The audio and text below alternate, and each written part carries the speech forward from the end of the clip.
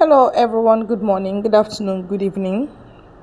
We have come again with a live broadcast of our Prime Minister. I'll make it an audio, I know why.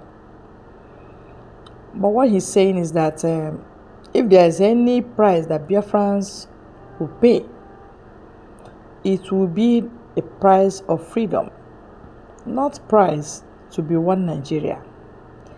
He says so much more that Biafrans are paid in order to maintain one Nigeria. Never again. No, it doesn't make sense. Nigeria wee lewe ikpere mmiri go like when you are washing the knee, trying to wash the knee to be of the same color with your leg. Ha! You will do that for eternity and you will not achieve it. Even when you bleach, the knee is still very dark. So there's no point, no need to trying to please or maintain one Nigeria. No, that is still life goes off somebody's body. But this generation will change it for them. There must be a price.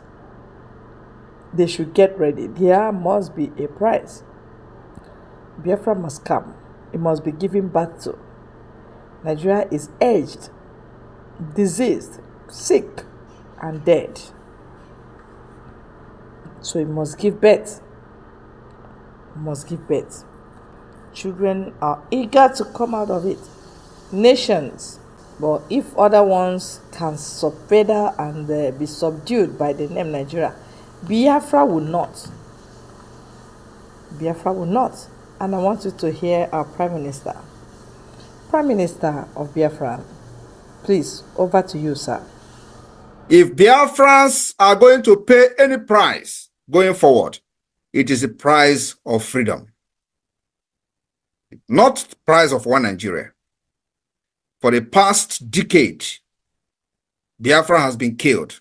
The killing of Biafrans has nothing to do with the future of the Biafra people. Rather, Nigeria that were fraudulently formed on gunpoint. And ever since then, Nigeria continued to force Biafrans at gunpoint to remain a slave. I want Biafrans to understand that we are living in a different world today. Not like in the 60s. We are living in a world they call the global village. Inasmuch as much as I condemn in strongest term the terrorist attack against Israel on 7th of October, look at where they are today. The world now value terrorism, backed by media war, backed by media. You go and kill innocent children and women in Israel. And then the entire media is on your side. Today, the United Nations is voting to recognize Palestine. With their terrorism. And that is the reason why none of you, from the time immemorial, who have been shouting for Biafra, nobody take you serious. Because you have not done something that the world will look at you and see that you really need your freedom. I'm telling you the fact. It is now that we are doing it because those who have killed us, we are now defending ourselves.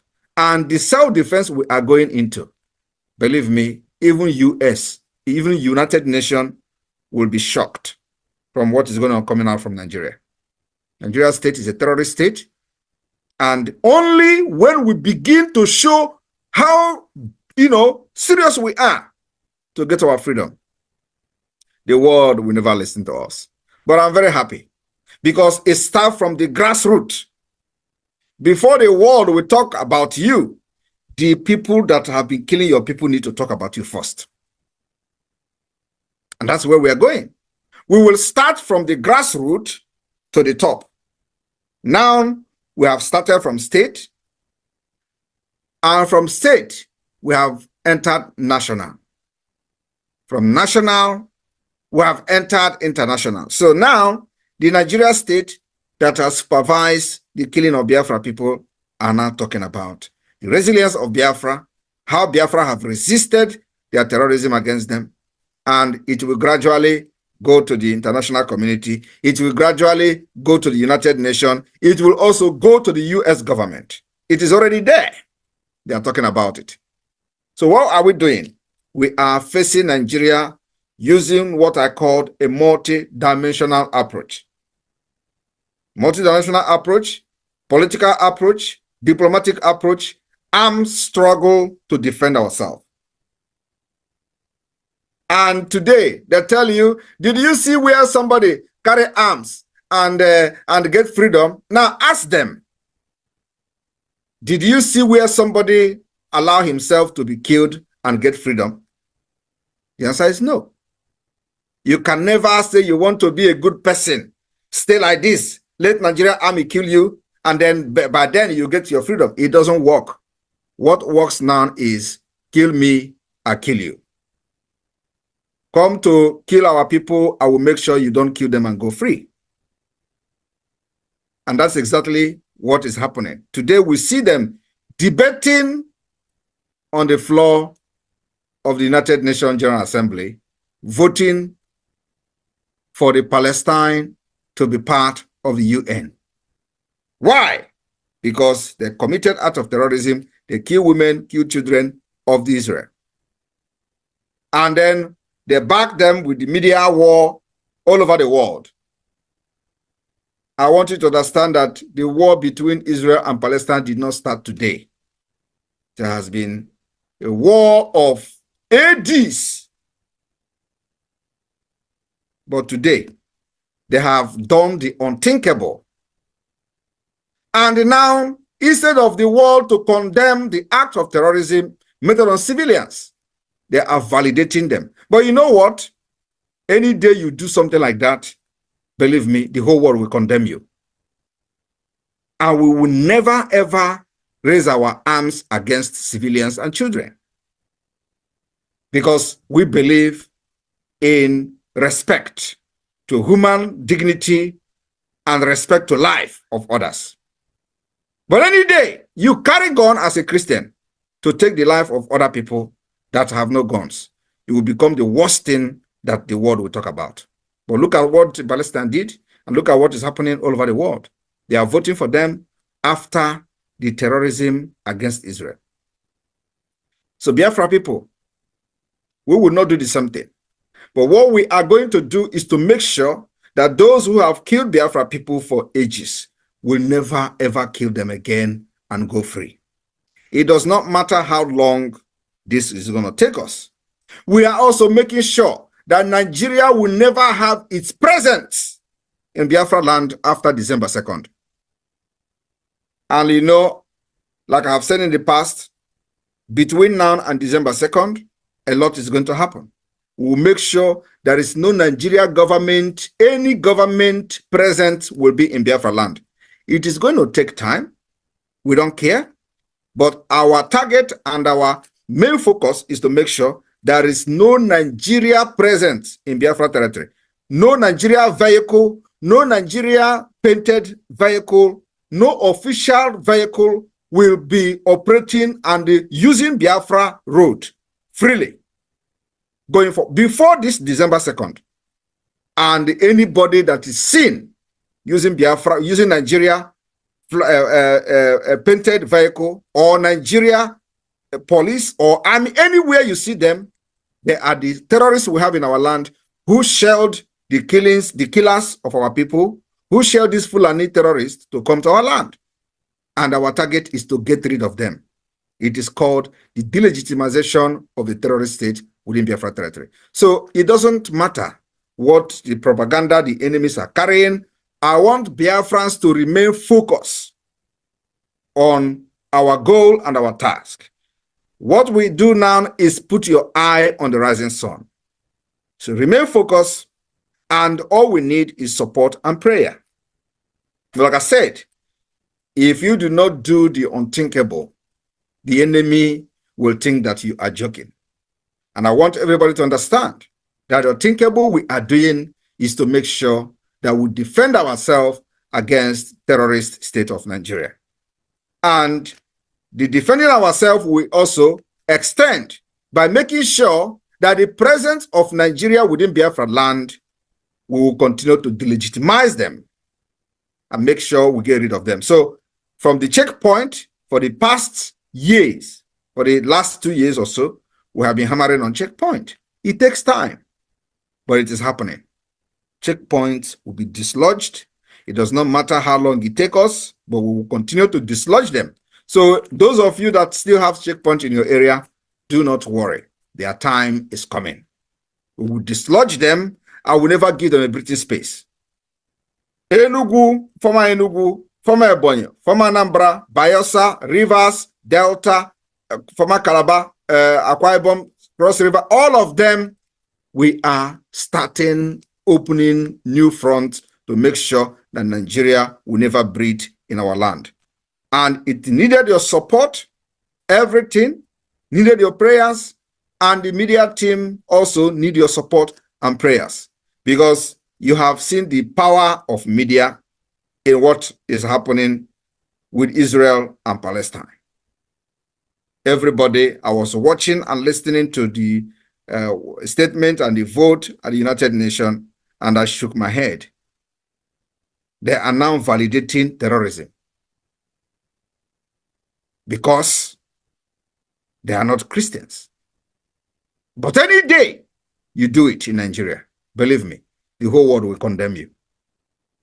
But you know, not the way others fought their own is the way we are going to fight our own. Our own is a very peculiar case that needed to be fought completely different from other people. That's why we have designed our own. Now, those people that are always telling you, uh, how do you fight? You tell me where somebody have fight. Tell me where somebody have done. Have you seen where in any country in this world that fought for freedom, where the people went and killed children and women, kidnapped them, and then the world is defending them? Tell me where that thing have, but it's happened now. It finally happened in 2024. It finally become a norm under our own very eyes we are watching them validate terrorism against Israel. But people tell you, it is wrong. You don't do this and get free. You, you see it happening. Tell me, what are you going to say? You see, the entire world now is against Israel. Something that has never happened before. So we are changing this world. And like I said, your freedom is in your hand. Do not allow anybody to dictate who you are. You are somebody. You have a culture. You have value. Do not allow anybody going forward to dictate to you how to live your life. That's what Biafra is doing today. We will make sure that our arms will never go against civilians, but always to Nigeria army and police and every other Nigeria agent carrying guns that are facilitating this terrorism against Biafra, our gun goes against them. Till the day we will declare and restore Biafra, and today Biafra will be recognized by this same UN. There are certain presidents. We are going there. We will meet them at the UN General Assembly. The game is on. And then let us see how they will vote for Palestine and reject Biafra. I greet you all. The war have just started. Yes, the war has just started. They will tell us why every other nation get their independence and separation from where they don't choose. But Biafra own is something else. They will have to tell us. You know, Mazi Nnamdi Kanu used to say that uh, whenever he gets to UN, whenever somebody talks about Biafra, the whole of them will stand up and start going they will tell us why. You know, all those hanky panky games, shameless games they are playing, they will tell us why. Because Biafra must be freed. It is by force. These people has chosen to separate themselves from Nigeria. You have to listen to them. The years of sleeping, the years of lukewarmness, the year of, you know, carelessness is over. This generation say it is now, and you must have to grant it to them. Or whatever comes out of it. Even nature will pay you dearly for not stopping a fire you would have been able to stop. You are able to stop this fight. Yes, you and you are. But hence, you have made up your mind that you will not stop this fight. Whatever comes out of it, nature will pay you, God will pay you, we will pay you. Because it's general fight, oh, get ready. Yes, uh, it, it is this year. Our Prime Minister, thank you very much. God will go before you, will go before the cabinet to make sure that we hear from them. They will tell us why, and we'll tell them the reason we say we insist. And that's it. Nothing more, nothing less, dear friends. And we urge you to please stay glued, like, share, and uh, subscribe to this very channel. God bless you all.